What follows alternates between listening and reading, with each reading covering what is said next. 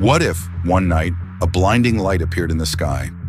Not a star, not a comet, but a quasar. Brighter than a trillion suns. It wasn't there yesterday.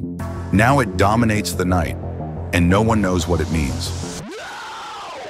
Quasars are the brightest objects in the universe, powered by supermassive black holes. They fire energy beams across billions of light years. If one suddenly appeared in our sky, something massive just happened.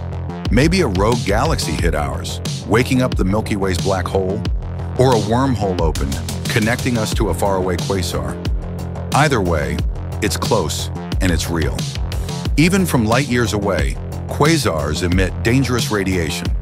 It could destroy satellites, damage our atmosphere, and alter life on Earth, and we'd be powerless to stop it. A quasar in our sky means something ancient just woke up. So here's the question. If it's pointing right at us, how long do we have? Drop your thoughts in the comments. What next?